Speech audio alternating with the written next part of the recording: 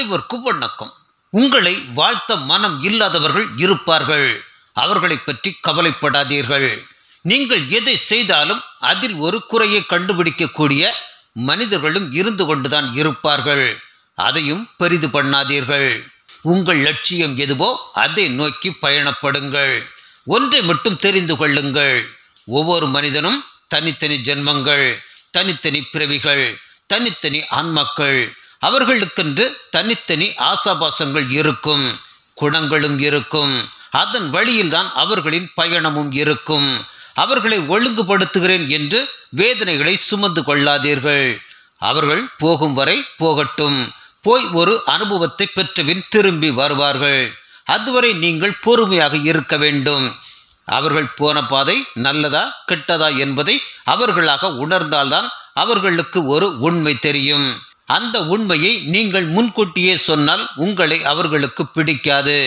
இதுதான் வாழ்க்கையின் தத்துவ உண்மை. அவர்களது பூர்வ புண்ணியத்தின் அடிப்படையில்தான் அவர்களின் குணங்களும் செயல்களும் இருக்கும். அது உடன் பிறந்தவர்களாக இருந்தாலும் நண்பர்களாக இருந்தாலும் கணவன் மனைவியாக இருந்தாலும் பெற்ற குழந்தையாக இருந்தாலும் பேரன் பேத்திகளாக இருந்தாலும் எந்த உறவுகளாக இருந்தாலும் அவர்களது பிறவி குணம் ஒருபோதும் மாறாது. எதை செய்ய வந்தார்களோ அதை செய்வதுதானே அவர்களின் விதி. இதை நீங்கள் மாற்றி அமைக்க முடியுமா? ஒதுங்கி நின்று வேடிக்கை பாருங்கள். பந்த பாசத்தில் உள்ளே விழுந்து அறிவுரை சொல்லுகிறேன் என்று கெட்ட பெயரை சம்பாதித்து கொண்டிருக்காதீர்கள். அவர்களுக்கு அனுபவம்தான் குரு. அந்த அனுபவம் ஏற்பட்ட பிறகு தன்னை மாற்றிக்கொள்வதற்கு அவர்களுக்கு விதி இருந்தால் தன்னை திருத்திக் கொள்வார்கள். அதுவரை நீங்கள் பொறுமையாக இருங்கள்.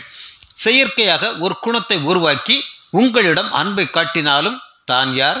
தன் குணம் என்ன என்பதை ஒரு நாள் வெளிப்படுத்தி விடுவார்கள். எதையும் ஏற்றுக்கொள்ளும் பக்குவத்தோடு இருந்து கொள்ள பழகி கொள்ளுங்கள். நாம் வந்து போகும் உலகத்தில் பிறந்திருக்கிறோம். அவரவர்களுக்கு என்ன வேஷம் கொடுக்கப்பட்டிருக்கிறதோ அதைத்தான் செய்து கொண்டிருக்கிறோம். அதை தவிர நாம் வேறு எதையும் செய்து காட்ட முடியாது. எல்லையில்லாத அன்பை வைத்திருந்தேன். என்னை ஏமாற்றி விட்டார்கள் என்று புலம்பிக் கொண்டு இருக்காதீர்கள். கடலுக்கும் ஒரு எல்லை வைத்திருக்கிறான் இறைவன். அதையும் மீறி சில வேளைகளில் இறைவன் வகுத்த எல்லையை கடல் தாண்டி விடுகிறது.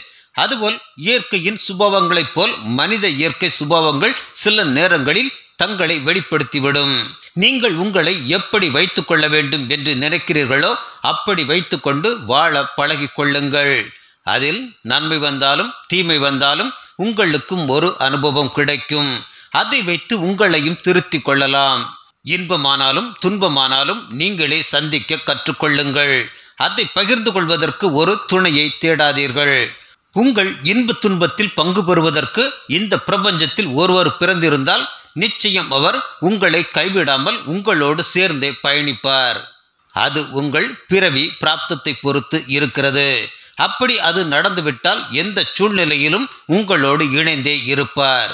நீங்கள் பெண்ணாக இருந்தாலும் ஆணாக இருந்தாலும் வரும் துன்பத்தை எதிர்கொள்ளக்கூடிய ஆற்றலை உருவாக்கி கொள்ளுங்கள்.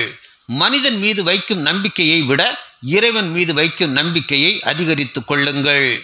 உங்கள் கண்ணீரும் உங்கள் கவலையும் உங்களை பலவீனமாக காட்டிவிடும். அழுவதாலும் சோர்ந்து போவதாலும் ஒன்றும் நடக்கப் போவதில்லை. எப்படி இருந்தாலும் நீங்கள் அந்த சுமையை சுமந்துதான் ஆக வேண்டும். அழுது சுமப்பதை காட்டிலும் ஏற்று சுமப்பது உங்களுக்கு சிரமம் இல்லாமல் இருக்கும். தைரியமும் தன்னம்பிக்கையும் தான் ஒரு மனிதனை உலகத்தில் வாழ வைக்கும் என்ற உண்மையை உணர்ந்து கொள்ளுங்கள். இந்த பக்குவத்தை அடைந்துவிட்டால் எந்த துன்பமும் உங்களை நெருங்காது என்பதை உணர்ந்து கொள்ளுங்கள். நன்றி.